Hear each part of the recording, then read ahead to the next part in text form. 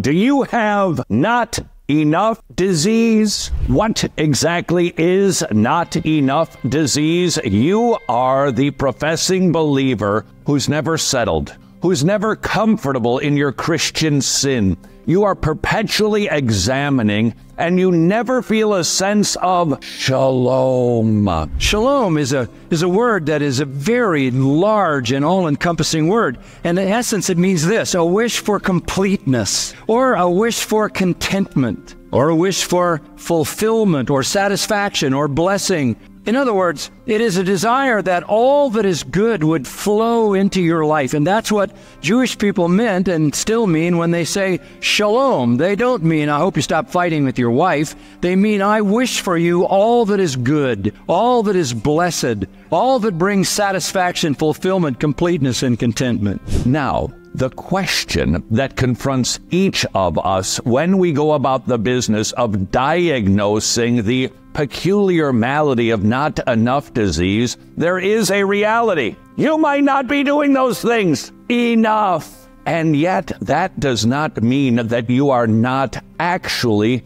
a believer. Do you feel the tension here? Do you see how difficult it is to correctly diagnose, give a correct prognosis, and then give an actual cure to this malady? You get discouraged, you get upset, you get frustrated. Why? Because you're looking at yourself. That is not what faith is about. Faith is about saying, What is God? What has He promised? He's a rewarder. He's given promises of reward if we will come to Him. Why does it seem we have more people these days in evangelical Christianity that are suffering from this peculiar malady? I would like to suggest to you it is because we have some preachers, good brothers, who are very concerned about another malady not enough true converts. These are the men who look around the landscape of evangelical Christianity and they see many people who raise their hands during worship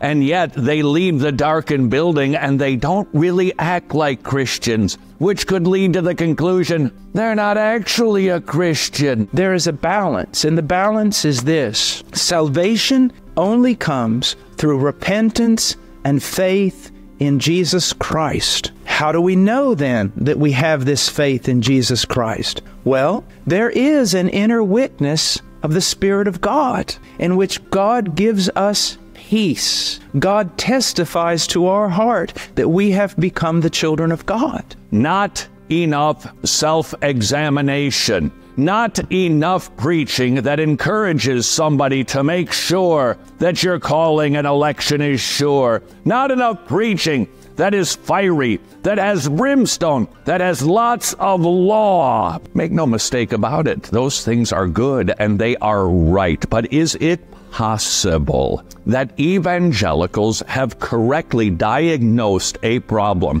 that there's not enough true converts, and they've taken a valid concern and turned it into a hyper concern. What is the hyper concern? Hey, there's so many false converts out there. I better not preach about assurance and abiding in Christ because I don't want to give any of those false converts false assurance. Yeah, the problem is complicated because we have four kinds of people the people who aren't saved and know that they aren't saved, the people who aren't saved and don't know that they aren't saved, people who are saved and know that they're saved, and people who are unsaved who know that they are saved. That's where the problem comes in. Is it a genuine concern that there are false converts, that there are tares among the wheat, that there are rotten fish with the good fish? Absolutely, positively. But that does not mean we should whiplash into another ditch and never preach about abiding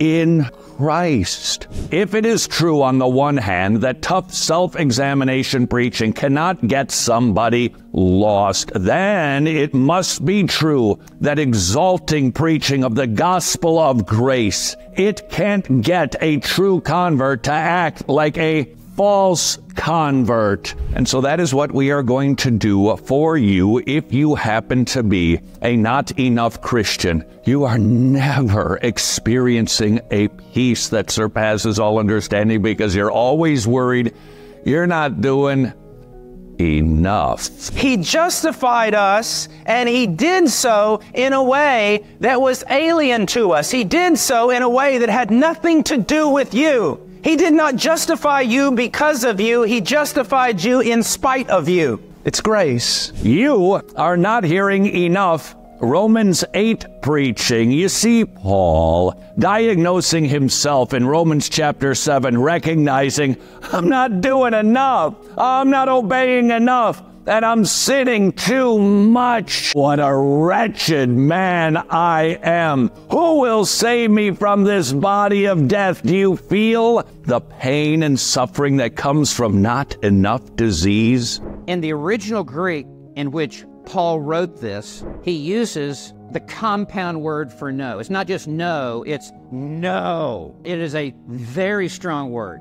And so Paul is affirming that there is no condemnation. And to emphasize it even further, the word no is the first word in the sentence in the original Greek language. So this literally reads out of the original language, no, therefore, condemnation, to emphasize no. So Paul is coming down hard on this reality that there is absolutely no condemnation for those who are in Christ Jesus. Christian, have you not been hearing that you cannot get lost? That your behavior can't keep you? That you're striving for perfection? It doesn't enhance your standing with God one iota. That there is nothing that can separate you from the love of God that is in Christ Jesus?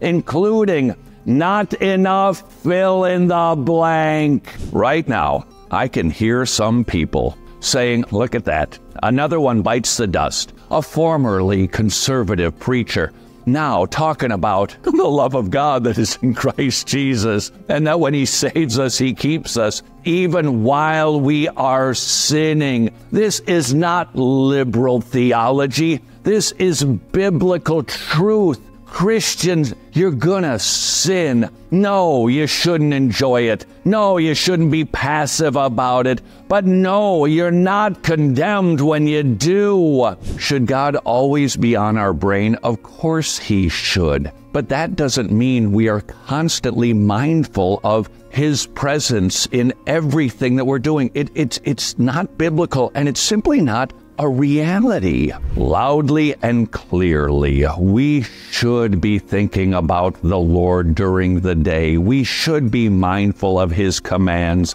We should be remembering His statutes. We should realize that His Word, it's the sweetest thing that we can contemplate. But even as we're going about our daily lives and our business, doing our thing, raising our kids, running for the groceries, if we're not thinking about the gospel in that moment, it doesn't mean you're not a child of God. In the Bible, we can see that it is God's will that people have assurance. In 1 John chapter 5 verse 13, John gives us the reason why he writes this letter. He says, "These things I have written to you who believe in the name of the Son of God, so that you may know, you may have the assurance that you have eternal life." It is God's desire that every true believer have assurance of salvation. There is the solution for your not enough disease problem. If you are constantly keeping lists to make sure you're doing enough to demonstrate that you are a Christian, let me introduce you perhaps to the doctrine of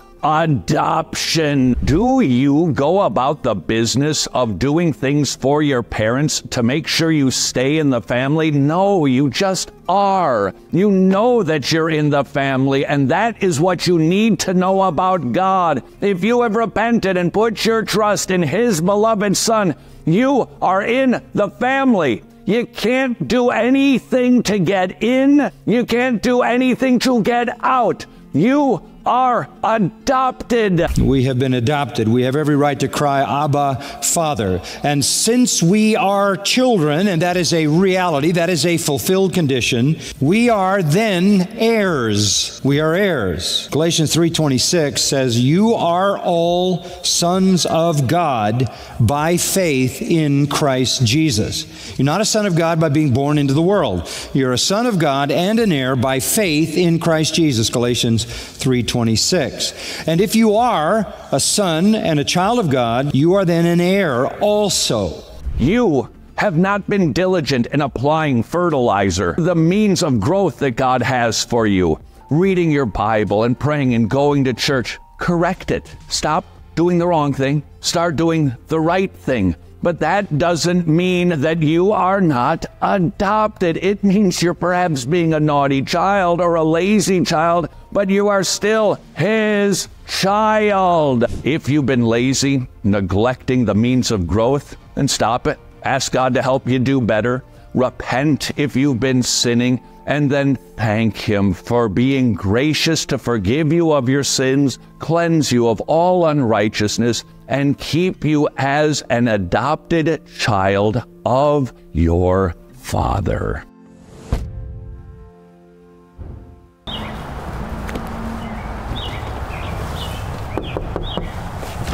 I'll be needing to see some identification, young man. Why? Because you, my friend, are a lawbreaker. No, I'm not. You are, according to this video from Ray Comfort.